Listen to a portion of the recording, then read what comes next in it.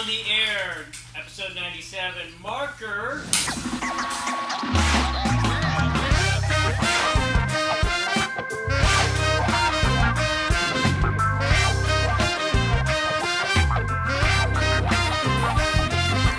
Oh my goodness, live from the Loft 100 Studios in sunny San Diego, California.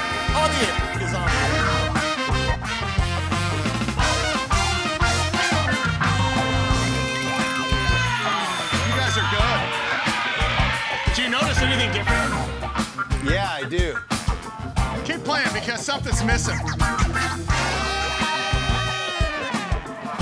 Well done. It's an all boy band. That's power when you can do it. Yes. That's. Uh, all right, can I ask you, James? Yes. Um, James James uh, East uh, from the East Musical Family uh, is our music director. What what did you, scare off uh, Tomoka, who know- plays with Andy Grammer and uh, April Leslie, who plays with Michael Bolton? Did you are they gone forever? Th- No, Because this is not a good look. Mary, can you stand up there? Mary Bird Godwin, our uh, our uh, den mother, and of course uh, TV show host. I, if you just stand there with a horn, Yeah, it- bring- it, would bring look- her up, It would look better. please. Give her a ukulele. I don't care, because this is a bad look. I'm just telling you right now. That's all we, have, do we have the sax? Do we have the? We got uh, we got a hippie. We got uh, three musicians and a couple guys from SAIC and Qualcomm. Wow. That's good. Steve Dillard, of course, uh, plays with the Righteous Brothers and Huey Lewis. And uh, who who have all you all played with again, Steve? Yeah, talk to Mike. Paul Anka, Yeah. uh, Righteous Brothers. Righteous Brothers, Huey Lewis, Huey Lewis, Lynyrd Skynyrd. Lynyrd Skynyrd, Yeah. Johnny Guitar Watson. Wow. What about you, Trip? You, you're a Kenny Loggins guy, and who else? Who, who have you played with? Uh, Little River Band, Wow. Four Tops. Reminiscing. Wow. You guys have to learn that. And he's played with Peter Sprague for a while. well, Peter Sprague's his brother, of course. Same And then- parents. And of course, James East, who's played with Eric Clapton and Lionel Richie, and and uh, uh, Brian Jordan, who's played with uh, Dave Matthews and James Brown. Wow. And uh, uh, who's uh, Lauryn Hill? Wow. Uh, and then there's Trace and Mark. So that's freaking. hey, this is play this with is these guys. this Good is to have- good to episode. see you. They're playing on episode 97. We're almost getting to 100. Episode 97. I can't believe it. Um, can I have a blam from you guys? Just give me something like, uh, gi- give me. Yeah, that's it. Come on, huh? Hmm? One, Right? two, Yeah. three, four. Like that. That's Love good. it. You want it again? You can call for it. Come on, give Tommy a blam. Give Tommy the end of that James uh, Brown song. Bum, bum, bum, bum, bum. Go for it. Oh, okay. Ready? Three, four. But then they don't. Resol- but isn't it kind of unsettling that they don't resolve? Yeah. See? All right. Here we go. Hey, we have a great show today. I Start the can't believe the three guests we have on. right, As a matter of fact, let's bring them on Oh, now. we have four. I've got a surprise guest for you. I haven't told you about. it. Really? All right. From KUSI, good evening, San Diego, by way of Costa Rica and UCLA, ladies and gentlemen, Francella Perez. There she is.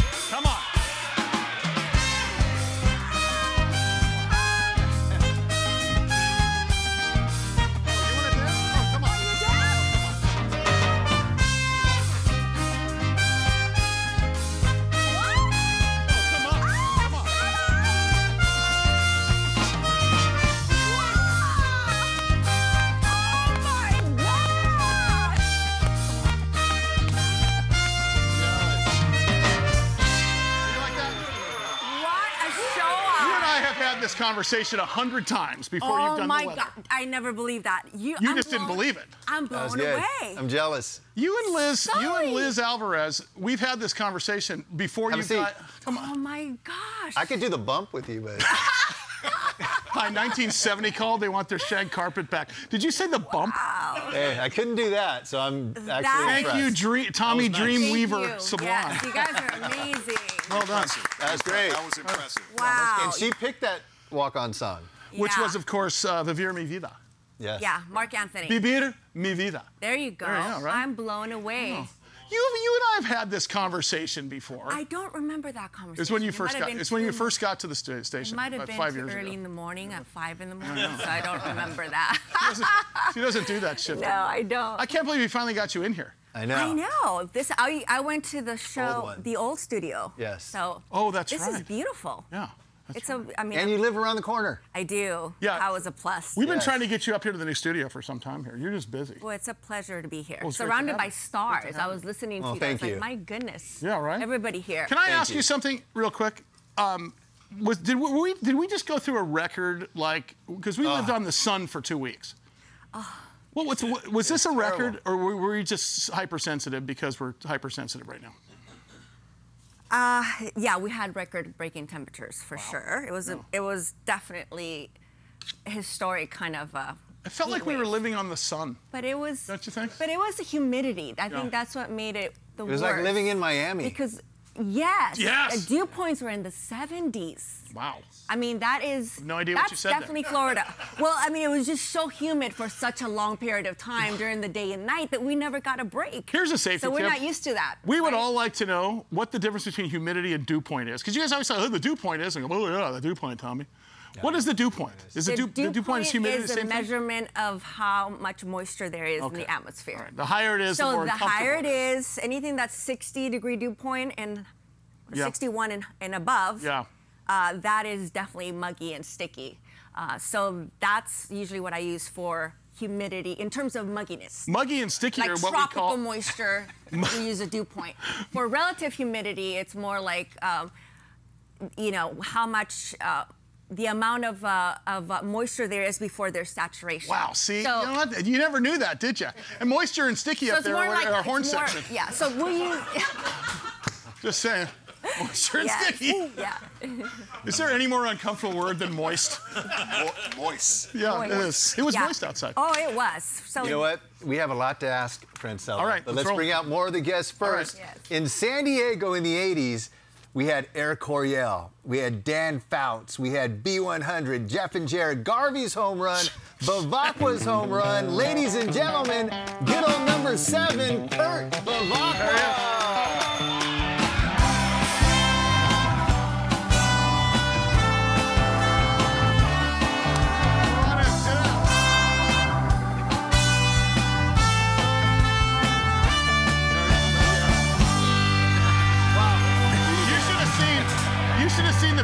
Of course, of- we are all as San Diegans, lifelong San Diegans, huge fans of Kirby Yes. But you should. I said, what does he look like now? Because he always looked like Magnum PI back in the day, right? He had that mustache. And I had one of our producers saying, "What does he look like now?" And they sent me the wrong picture because I walked in there and said, "It can't be Kirby." Because the guy they That's sent me funny. looked like he was like 10 years older than you. Honestly, they sent me the wrong picture. I got to find the picture and send it to you. Yeah, we have to find it. It looks. You No, look let's great. show everybody. You look like you can still play. Uh, you look well, I play a little golf. Yeah. Yeah. You know how we got Kurt to be here? How? I, I messaged him on Facebook. Did you really? Yeah.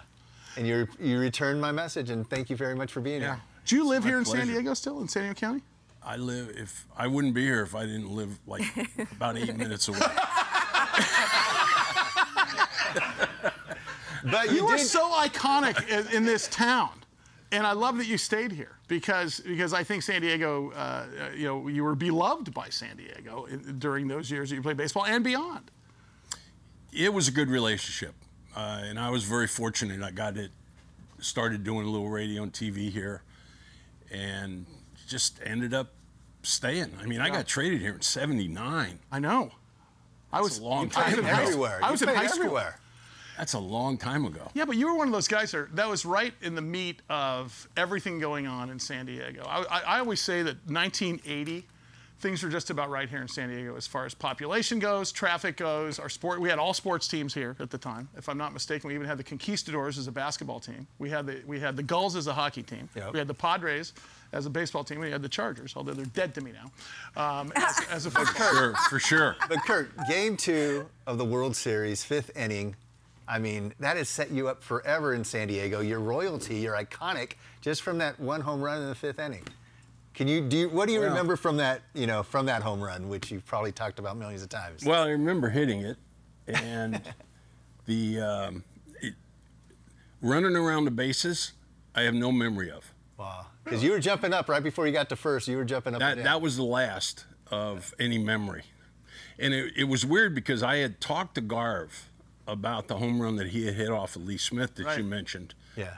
earlier, and he goes, you know, it was like I, I went into a vacuum, and that's exactly what it was like. Yeah. I mean, you got 50,000 people screaming, and Yeah. you just did something that you dreamed about Here it doing is right from there. the time right you were a Here we kid.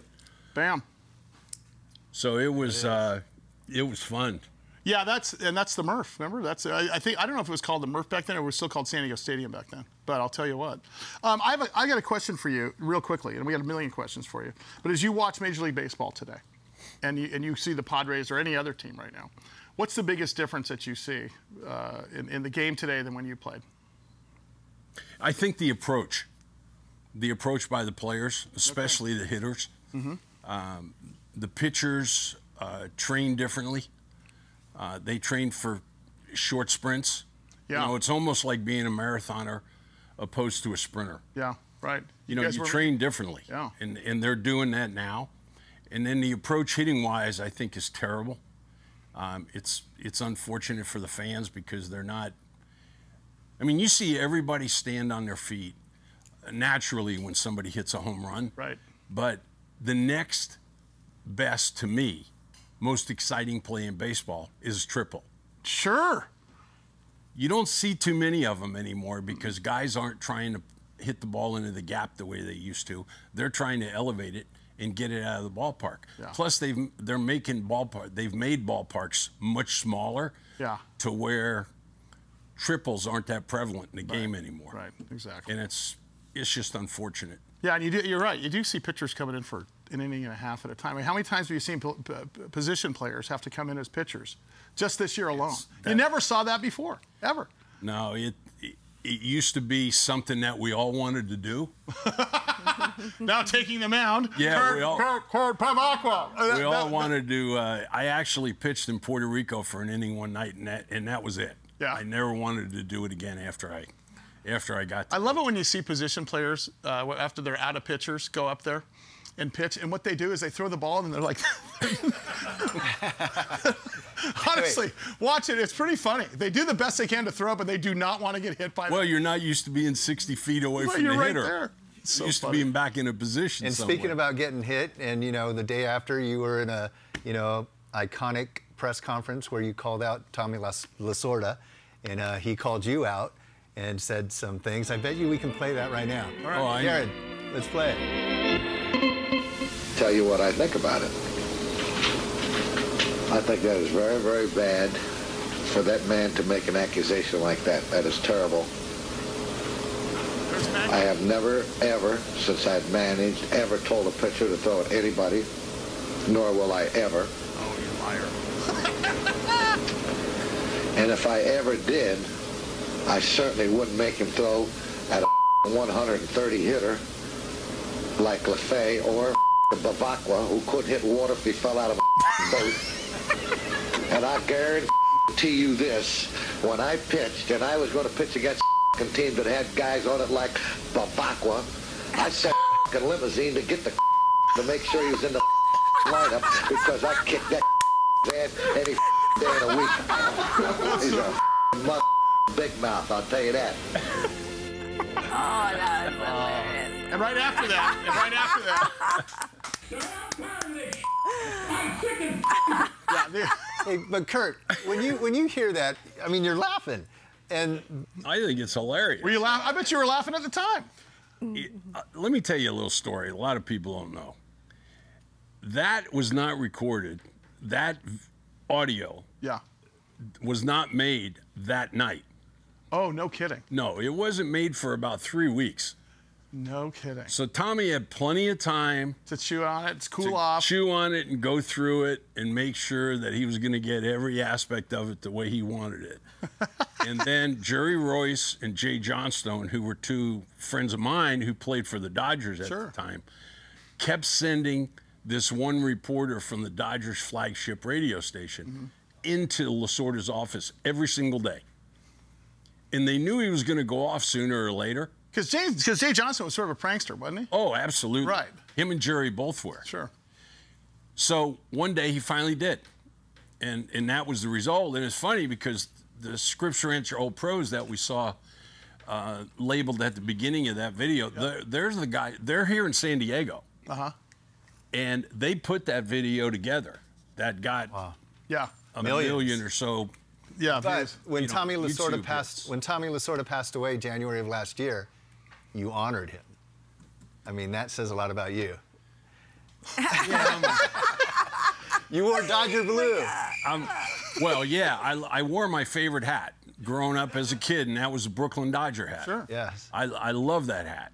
And I, I love that logo. I love that team. I love Duke Snider. But I was also a Yankee fan. Mm-hmm. So, but I loved the hat. Yes. And besides, I mean, it, a B for Bevacqua, what can you do? Exactly.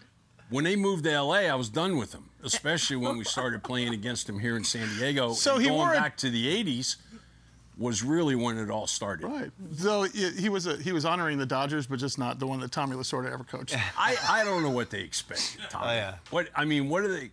The guy dies. Yeah. And they And I've everyone's got calling news you. stations I was trying to reach you. coming to my house, and and I said to every single one of them, I go, "Do you guys expect me to badmouth this guy? Yeah. He just died yesterday. What am I going to do?" Right. Yeah. I go, "I'm not going to, so don't expect it." Yeah. Well, you're, you're classy. So I don't know about You are classy because I badmouthed Rusty the very next day. God rest your soul. Yeah. He was my work wife for 28 years. I can say. yeah. There you Oh go. my God! So, well, I got to tell you, it's so great to have both of you here. But I think we have more people. Yes. I I got a million questions for the two of you because I have so many memories of, you know, I was turning 21 as you were getting drafted to the Padres, which was freaking awesome. That's the greatest time is when you just finally uh, get to bend the elbow uh, at uh, at the Murph and go watch a Padre game for the first time. It was fantastic. It was awesome. But So someone that can relate to the weather we've been having is Kurt. Kurt grew up in Miami, right? I was just going to say, I know about dew point and humidity. I was born and raised in Miami Beach. Yeah. So you're used to this. yeah. Well, I don't know. Last week was pretty tough. Yeah. Let's. Get Uh, we got we got a really special guest, but let's wait for a second Yeah, because let's- let's because I want to the I want to break. give him his due, and I also real quickly, if we can, I got a surprise guest for you uh, at the at the last segment today. Who? Uh, my good friend Lance Weir. Yeah. Who uh, represents Challenged Athletes Foundation. Of course, I, for my 12th year in a row.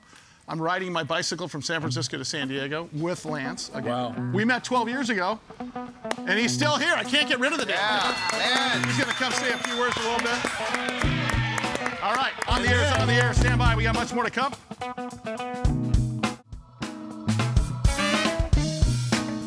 How you like that, Tommy? I like it. We got Kurt Kirk Bevacqua. We got Francella Perez, who is a hell of a salsa dancer, as evidenced by her entrance, and has educated us on dew point and humidity. Yes. On the air is on the air. Great to have you along. I'm Sully. That's Little Tommy the Blonde, Hall of Fame producer.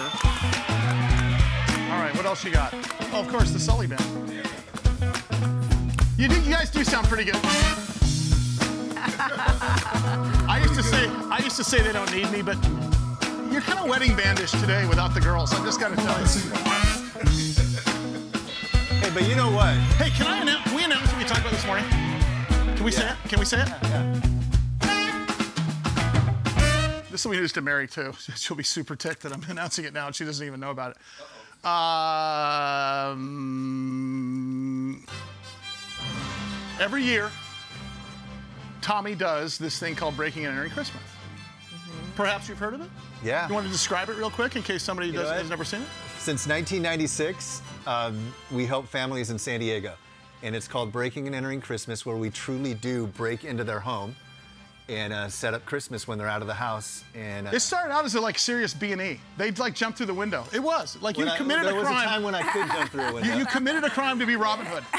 there was a time when I could jump through a window, but I, re- I do remember that very first one. I went to Kmart. We found out who were we going to help. It was a single dad with uh, two daughters. He just lost his job, and so I went to the Kmart at the time and bought a tree, bought Barbies, uh, food. So- so that his kids gifts. could have a Christmas. Yeah, and then when he went out of the house, I went into the house and set up Christmas, and that was the birth of breaking and entering. How many Christmas. years ago was that? 1996. And in 1997 uh, um, or 1998, uh, speaking of the Padres, a guy named Wally Joyner Yeah. called me and said, Tommy, can I take all those faxes at the time that aren't going to be helped?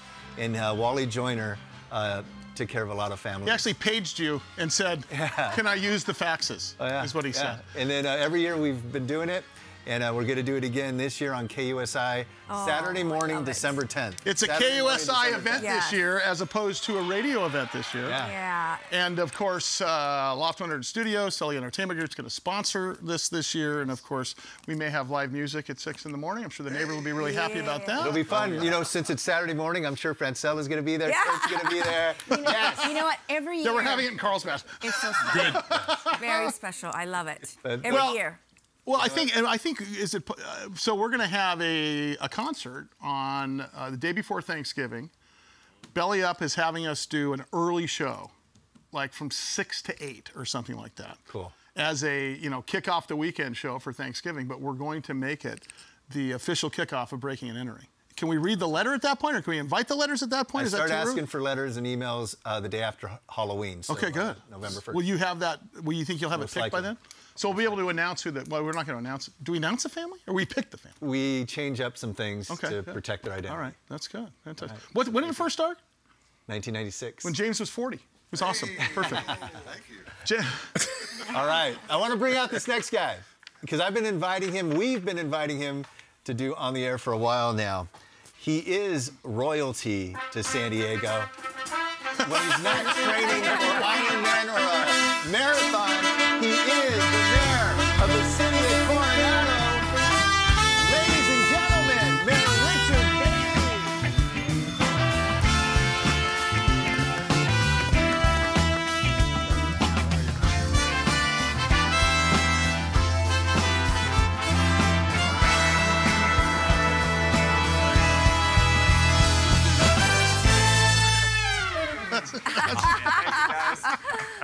Are you the same? song. Yeah, Kurt and I want to know something. Yeah, what's and Tony. Uh, yeah, what's up? You have the same waist size you did in high school?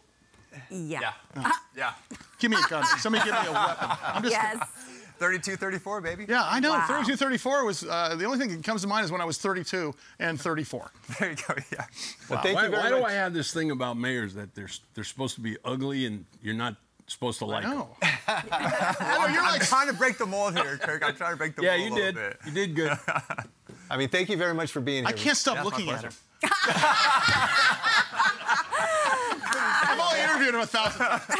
It's all, but remember, I've talk radio guy. I interviewed him on the radio. Never, Yeah. and I, s- you know, then you know, I'm having trouble making eye contact. But how does it feel being there? I mean, Hotel del Coronado and all the history. I mean, Orville Redenbacher lived in Yeah. Coronado. I mean, how do you... Wizard of Oz was Wizard written. of Oz was written there, inspired by the, Hotel, Hotel Dallas Dallas. construction. Yeah. Wow. Uh, birthplace of naval aviation, and also where every single Navy SEAL that serves in the Navy um, gets their start. And Like, you guys have BUD/S training in Coronado still to this day, don't Still you? to this day, every single U.S. Navy SEAL got their start in Coronado. That's crazy. And uh, everyone that's an aspiring SEAL will, will come there and go through BUD/S training. Have you got? I'm sure you've gotten to see that. Have you? Yeah, yeah, absolutely. Uh, you know, it's one of those things like when you live in Coronado, um, you get these. You know, the SEALs aren't just SEALs; they're your friends, they're your family, and uh, so yeah, I've been very fortunate to make a lot of great friends that are on the teams and kind of see it up close and personal. Did you grow up in San Diego? I grew up in East County, San Diego. No kidding. So uh, yeah, graduate of uh, Steele Canyon High School. Uh, my dad was a graduate of El Cap. Well, let me- let Um, me so stop we're one East second. County Wow. kids. Yeah. Jam- JMO and the, and the guys who grew up in San Diego. When we graduated high school, there wasn't a Steele. There was no Steele Canyon. high Yeah, school, yeah. was there? Yeah. I was it didn't actually, ex- it I was actually the first graduating class. What year did you graduate? 2004. 2004. Yeah. I bought this shirt in 2004.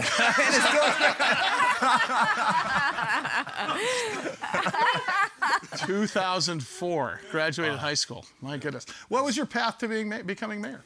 How did that happen? Did you? I mean, did you have designs on when you were class president and most handsome in the high school? Did you, did you, did you have designs on being in politics? Actually, funny enough, and the only election I've ever lost was I was running for sixth grade president in my elementary school. And the popular, good-looking girl in elementary school, she beat me. And that was the only election I've ever God, I'm so glad you're over it. I, I, no, no, I Ju- Julia Broadfoot. Julia Broadfoot, wonderful person and uh, great family out in East County. but God, never remembers the name. I know. I, oh yeah, remembers for what sure. she was wearing. Absolutely. okay, but that was, that was nothing. yeah. That was fine. He's so that kind of that kind of inspired me to all right, I got to get her back, right? I got to become the mayor of San Diego, or excuse me, Mayor Coronado. Um, and uh, so yeah, I guess the path kind of looked like when I when I graduated high school, went to Cal Poly San Luis Obispo for undergrad, and actually majored in business finance, and always had a uh, always had a fascination with public policy and, and politics, but uh, started in the private sector. Started my career up in San Francisco, working in the financial industry. made my way back down to San Diego. Was working in fin- corporate finance for uh, United Technologies, formerly Goodrich, back Yeah, in the day. right. And uh, yeah, big South Bay employer. And uh, but still kind of had this like curiosity and fascination with public policy over the years. And so when I was 26, I Which was yesterday, by the was, way. Yeah, exactly. Yeah, about three weeks ago, and um, I decided to, to take a shot at running for city council in Coronado, and knocked on every single door in the island twice, asked for their vote, and just pulled out victory. Good for you. Yeah, the isthmus. Actually, Tombolo. Fun fun fact. So a lot of people refer to Coronado as an island.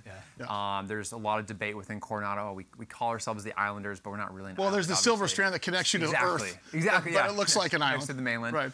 And um, it's actually called a tombolo, which is a tom, excuse me, a tide island. Oh, I know Tombolo. He owes me money. Exactly, he probably does, right? From back in high school. Yeah.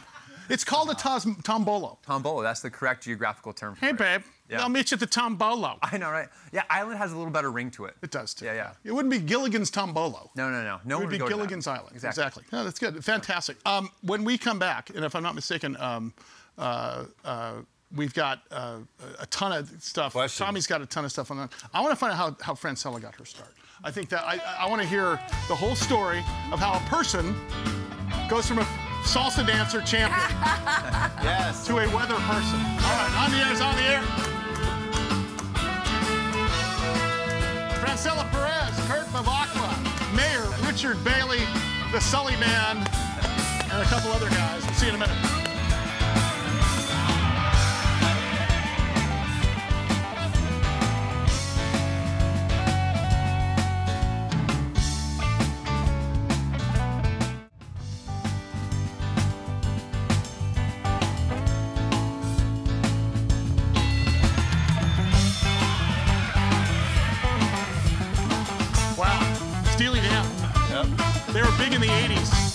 Now they're big and they're 80. on the air, it's on the air. Great to have you along. Sully Band's sounding good today. You know, Trip Sprague, our sax player. What is. I'm going to ask Trip. There's a cover band for Steely Dan. Steely Dan. Trip, what is the name of that band? Steely Dan. Steely Damned? Well, there's a cover band called the Steely Damned. Yeah. And you play with that, don't you? Yes. They're perfect. They, they honestly sound great. Great to have you guys today. SullyBand.com. Just thought I'd throw that out there. So you got a question for Francella. I got a question for Kurt. All right, Francella. So how did you? I- I know that you got here from another market, but how did you get into weather? Because you are a meteorologist, aren't you? Is, is that what that means? Uh, am I calling? Yeah. I started. afraid I- I was afraid I pronounced it wrong. Uh, we started in LA. Mm-hmm. I went to UCLA, and then after that, I got hired at Fox Sports. wow. See, I can see that though because because Sports. off the air you're a great mom, but you're kind of a dude when it comes to sports. yeah. I've been with you I for am. 10, I'm 12 kind of a years. now. tomboy. Yeah, my I brothers know. used to call me a tomboy. How did you know that? Yeah, well, I Uh, hung but- out with you at the studio for Yes. however long you've been here. in So. I started Fox Sports, and then from there I got hired at Telemundo NBC. Uh, we were at the Glendale office, and then from there we were at the Bob Hope office, Mm-hmm. which is a big building. How did you land down here? Was that was that just was that your They- choice or? Eventually, we were bought out by Channel 22 was bought out by T- Telemundo, Mm-hmm.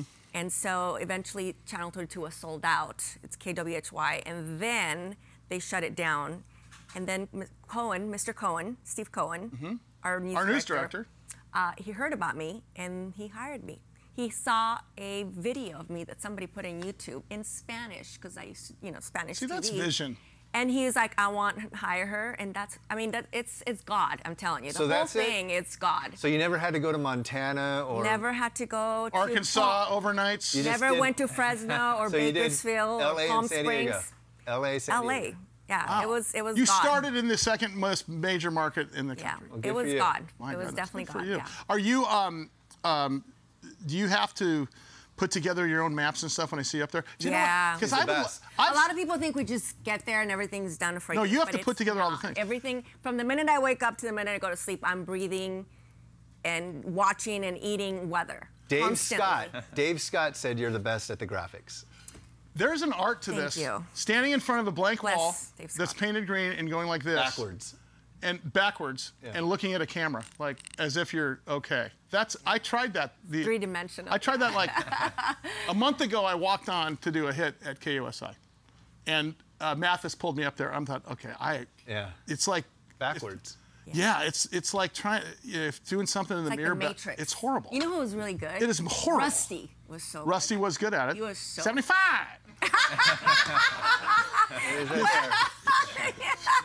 no, he'll, he'll be doing it. He'll be doing it in a second. Yes. Yeah, I, it, it was. I thought the Dooley Mathis at nails and Mathis. Oh, did that was the, The best. So, That was so the best. the, the other thing too, I want to ask you is you were mornings forever. I used to see you in the I- morning almost every That's day. when I met you. I was in Good Morning San Diego. That's do you when like I eve- started. do you like evenings better? Um, I like. Uh, we were talking about that earlier. I like being able to sleep a normal schedule. Yeah, You right, know, overall. So Yeah, yes, I do like the evening. I can do mornings, and I've done it, but everything, you know, it's fun. The morning is a different dynamic. Yeah. The evening is just a different dynamic. Exactly. But I do get to sleep better now. Yeah, that's good. I get a you know full hour, full eight hours sleep. Okay, I got a question for Kurt. Yep. Bench clearing bras. What? We don't see those very often You know, uh, there's a, you know, thank God for Google. There's a story about you uh, on second base with George Brett, and the bench is cleared. When the bench is clear and you have to fight, do you have to fight, or can you just go away? I don't want to get in trouble, so I don't want to get fined. Or because it's baseball, does everyone fight? You know, I never thought about that before. yeah, he was just loyal, Tommy. No, no, it, it was fight time. Yeah. Yeah.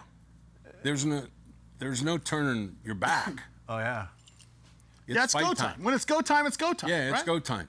But, but Especially if you're the one that instigated it. not, not I don't think instigates the right word. Yeah, maybe.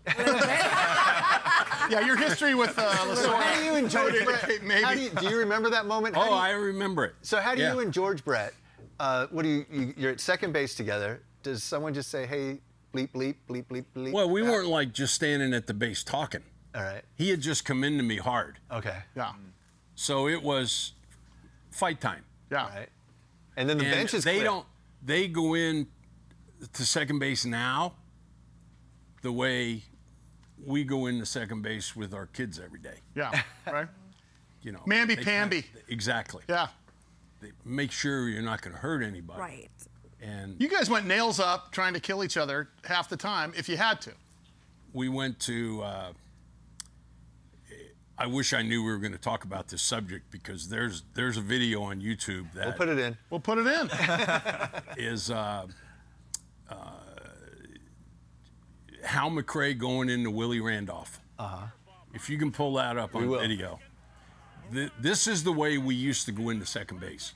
It's a little extreme, but it's the way we used to go into second base, and they outlawed it. I mean, it's, you know, with the Buster Posey rule at home, uh, you've got the second baseman where uh, Chase Utley injured the guy's ankle or knee that night in Los Angeles. These are two injuries that happen in sports Yeah. where they completely change the dynamic of the game by taking away collision plays or the right for the catcher to be able to block home plate. I got to tell you something. When you're at second base and you know that you have to score on a base hit to the outfield, and you look at home plate and you see Bench back there or Steve Yeager back there or Mike Scioscia back there, Yeah. you know you're not going to get to the home plate. Yeah. Those guys were box trucks sitting behind the plate. Whether they have the ball or not, Yeah. you're not going to get the home plate. You have to figure out another way to get there. and there's only one way to do it. Power. You got to go through them. Yeah, right. Or That's right. around them. That's right. So then it's go time. Yes. Yeah. so speaking of Johnny Bench and all them, so you get drafted, I think, out of high school in '66, and then you get drafted again in '67 after playing college in Miami. But when you're up there in the late '60s, early '70s, when you're playing in the major leagues, and you're up to bat, and there's like Johnny Bench right behind you, are you like, in your head, are you going, oh my God, it's freaking Johnny Bench?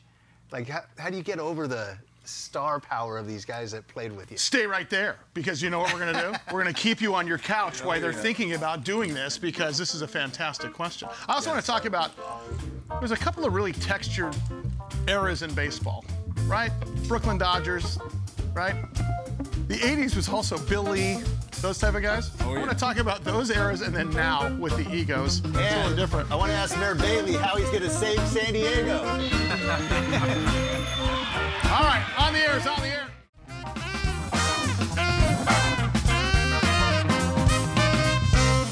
You're not going to do the do do do do's? Do do do? Fantastic. Thanks. Appreciate it. Good stuff, guys. Hey, this is a fun show. Somebody's not getting a paycheck this week. That's all right. Uh, a couple of things to mention. Um, number one, Tommy has won the argument about where we're going to have our 100th anniversary show. Um, we don't get to go out, but we also don't get to stay in very good either because apparently we can't have tents here. We were going to have a giant audience, so we're going to have a, a, uh, a, an intimate audience. Right here. Uh, we're gonna, what do you want to call it? 20 people, Mary? What do you think? Think we do 20 people? So you're going to have to get your emails in to, uh, uh, I don't even remember. Is it control room at loft100studios.com, something like that? Whatever comes up on the screen, send your email there. Um, We're getting closer and closer to episode 100. This is 97. I can't believe it. Look who showed up on stage here. Lance. Lance Weir. I- from Team Chase, from Challenged Athletes Foundation, from um, Canine Companions. Fantastic. Good to see you, bud. How are you?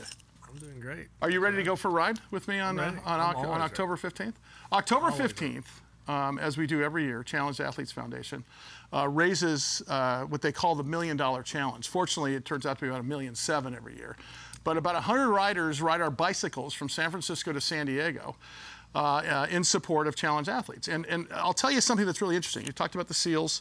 Um, this is not just about uh, uh, wounded warriors, so to speak, and, and folks that have served our country. This is also about accident victims, right? Uh, your story is interesting, and, and we're going to get to that in a second. But it's about anyone who finds himself uh, in, in a challenged position physically. If you, let's say, lose a limb, insurance will pay for a walking limb. Let's say it's a leg, okay? But to get a riding leg or a blade to run in, they consider physical activity to be a luxury. So How do we change that? Well, I, I think we're starting to with Challenged Athletes Foundation because we raise money to pay for for basically uh, uh, every any piece of equipment that's going to get you active. Uh, as as a uh, as a person that has a, a physical challenge, so uh, Lance and I met 2010, 12 years 12 years ago, right? and I was I was a taco shy of uh, 300. One more burrito, I would have been there. Your nickname, your nickname was Diesel. Diesel, he named me. he saw me riding a bike. He goes, he goes, "Hey, Diesel, come here." So we became really close friends from there, and uh, and uh, my my my uh, road to fitness was was uh, insured, but even better, um, we've raised a ton of money. So talk to us about about uh, a little bit about what you're doing this year because it's, it's special. We're going to help you raise fifty thousand dollars. For the We're- Challenge Athletes Fund, is, is that what it, is that the number? Because We're gonna give it a shot. we're gonna co- uh, so we've already committed to ten thousand of it. Okay, and and we're gonna put a donation link up here on the screen for you. But talk about what you're doing. I got 40 to go now. That's easy. Okay. Come on. All right. talk about it a little bit. What do you? So what's the idea of this year? So this year will be my 10th year to actually do the ride down the coast. Um, actually, my 11th year to ride down the coast. The first year I did it in a car. Yeah. And that didn't sit well. It didn't sit with me either because you were Yeah. chirping at me the whole time. Yeah. yeah, you know, watching so from the sidelines, so to speak, just was not something that uh, I was used to or accustomed to. So the next year we figured out a bike and we built this uh, custom hand cycle tandem, one of a kind in the world. And um, yeah, so 10 years now I've ridden down the coast with you. Lance rides down the coast with his arms, right? And and what's interesting is the the the bike, the adaptive bike that we've got has a rider in the front, Lance in the back with his arms, and we've got guys helping. So it's a really cool. It's a cool team. We call it Team Lance. I couldn't. Yeah, it was called Team Lance for a long time. Now it's called Team Now Chase. It's called Team Chase for a friend of ours whose son passed away from Yeah. uh, muscular dystrophy. But uh, yeah, you know, I couldn't have. I couldn't ride down the coast by myself. I don't have the muscles. I don't have the ability to do that. Lance, I want to talk about your accident real quick. Talk about that for a second because because it's an interesting story that could have happened to anybody. I was 21.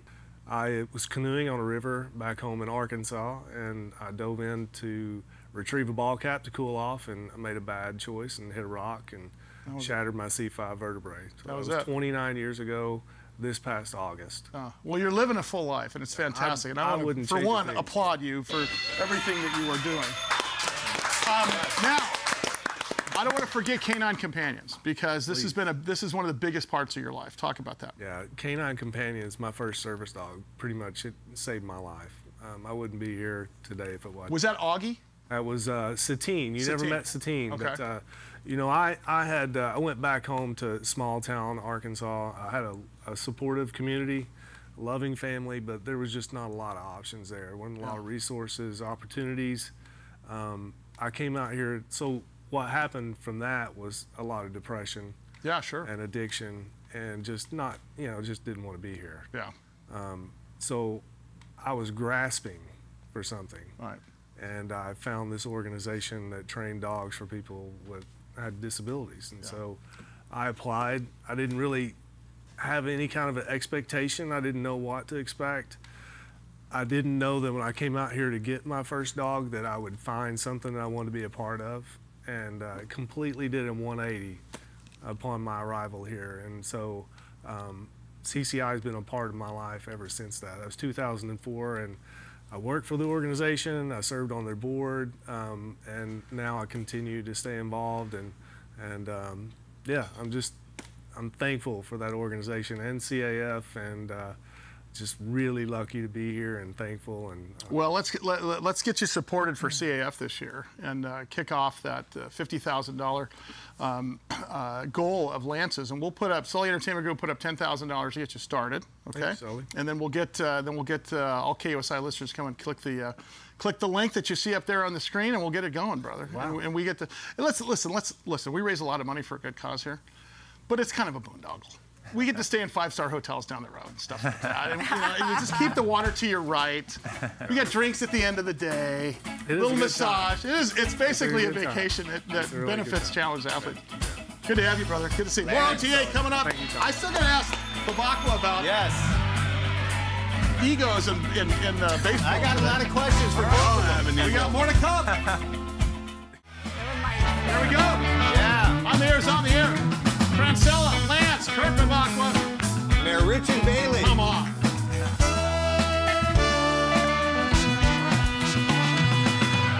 You know, Richard makes up for the fact that I don't look at you guys. I can just look at Richard. Nice. Thanks. Listen, this this ba- You got this was, bro- our, this you got a was our band. This was our band before we had before we had the girls playing sax. I don't know how the hell we got booked. Hey, real quick question. Question for Kurt Bevacqua.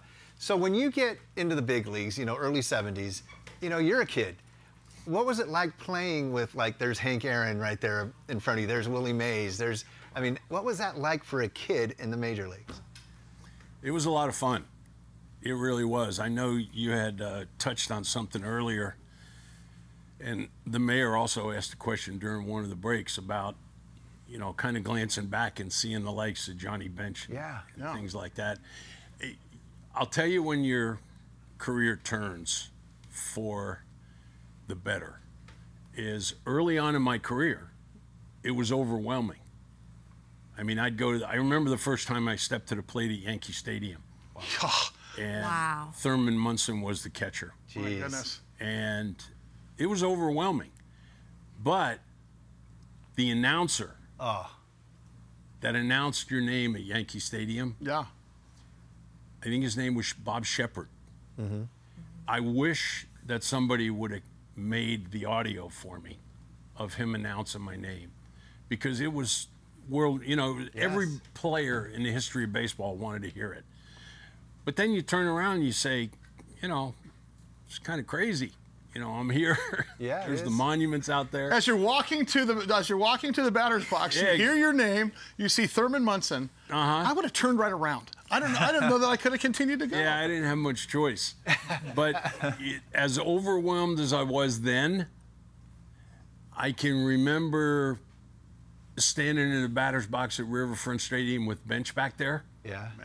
uh, when I was with San Diego and going to the plate with all the confidence in the world and looking back and going, there's no way you're going to get me out here. I literally said that to him one night at Riverfront Stadium. Yeah. So that's the difference between a young kid Yeah.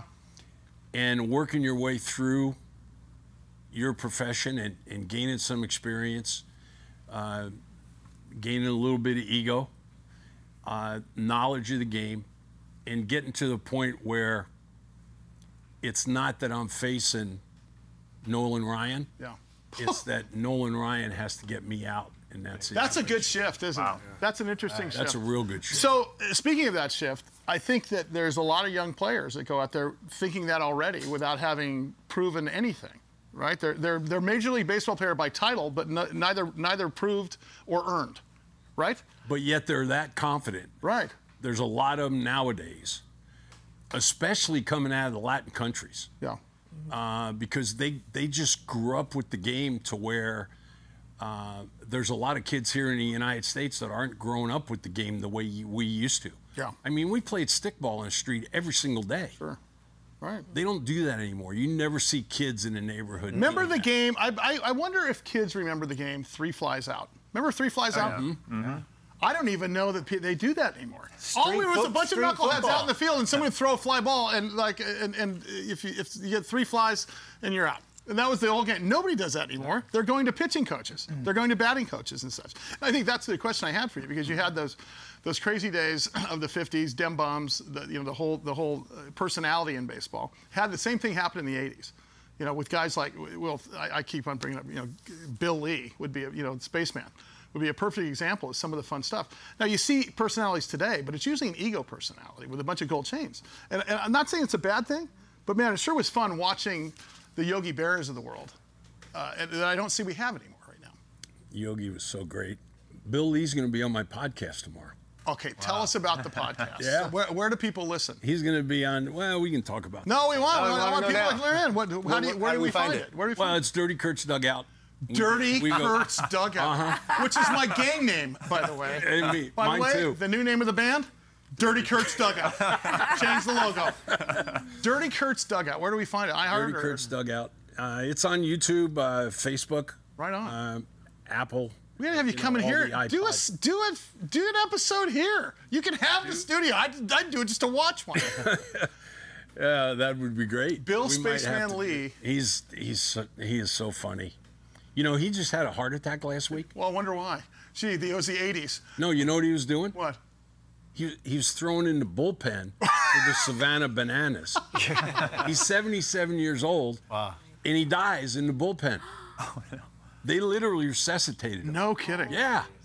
He died on the mountain when he was playing for the Expos a few times. I watched him. Question for Mayor Bailey. Mayor Bailey, there's a lot of there's a lot of wrong, in my opinion, going on in San Diego and California. Every time we try to set up guests for KUSI, we always say, "Hey, let's get Mayor Richard Bailey," Yeah. because Mayor Richard Bailey knows how to do things. What can we do to fix San Diego and fix California? Gosh, well, I, I I really. mean, what can we do? He means, what can you do? yeah, yeah. you know, I uh, qu- quick story for you. I had a friend visiting San Diego for the first time in his life, and uh, we went to school together in college and uh, lost touch, and then reconnected. And he flew out to San Diego to visit. And as I was taking him around different parts of San Diego, he said, "Isn't San Diego supposed to be America's finest city?" And I'd never heard anyone kind of ask that question that way. And that, you know, I think we all kind of see it on the day to day. We see the crumbling roads, we see the, the homeless, we see the rising crime. Um, but because we experience it on a day to day basis, I think we just kind of accept it as normal. And here's a complete outsider coming in with this expectation that none of this is normal. And yet, here it is. Like, that is our reality. And uh, like, I, I'm a really big believer that part of the reason why we've strayed the way we have is because government in general has kind of lost sight over its, its core responsibilities. I'm, I'm a big believer that if we just got back to the basics, hey, local government, we should be providing for the public safety, we should be building sound infrastructure, and then we should be accomplishing those first two objectives in a very fiscally responsible manner. Period. If we can get that done right, probably 90% of all other problems takes care of itself. So I'm a, I think that we really just need to return to the basics. You know, we talk about some of these celebrities coming up through baseball right now and having all this confidence. I think right now we have a lot of unserious people in very serious positions within government, mm-hmm. and they have these outsized personalities where they're almost using their position as a platform to elevate themselves versus working within the institution to uh, bring about the quality of life that we should all expect living in what should still be America's finest city. So, Ladies and so wait, wait, gentlemen, wait, wait, So- 2026 I was just- Governor Richard okay. Bailey. So, for, no, so for, speaking of platform, we got a pretty big footprint here. Are you going to announce uh, your run for mayor? I mean, uh, city of San Diego. Yes. Well, I mean, I think this is where you do it. Come on. this- is there any designs on being the mayor of San Diego? So as of right now, I, I'm very, very fortunate and blessed and honored to be the mayor of Coronado. Uh, I have two and a half years remaining in my term, And It's a uh, tombolo. Get over to the city. That's Tombolo. well, we'll see. Well, we'll see one day in the Eighth future. but- largest city in the U.S. or Tombolo. It's or not Tombolo. a really. exactly. But hey, Coronado. I, I mean, love come Coronado. Coronado's not we play the Coronado Summer Concert Yeah. Series like what five, six times. We love Coronado. and we love having you. You're a fan favorite. we would You're a fan rather have you, uh, you know, sit Or You there. still live there. That's- You can still live there. So this is this actually was kind of fascinating. You actually can't. So What? one of the very few requirements, for better or worse, of being a representative of your city is that you have to be 18 years of age and you have to live in that city. Yeah. So as long as I live within the city of Coronado, I could know I could not represent another city. So. Oh, I think we have donors that'll put you up in a one-bedroom, real sweet. I think I think we can me over on figure. I think we can figure it out. Uh, I will tell you. So best of luck to you. You're doing a great job, Thank you, Kurt. It was so fantastic having you here. Lance, Hey, it was great. always. I love you more than Thanks my parents. me. Uh, you know that, and you and I get to spend a lot of time together. Francella, always a great time having you. Good guys. evening, San Sully, man, Diego. Take it away. Let's go. We got another week down in the pipe coming up on our 100th anniversary. Right on. On the air. Now go out there and have a great day. And check out your dew point.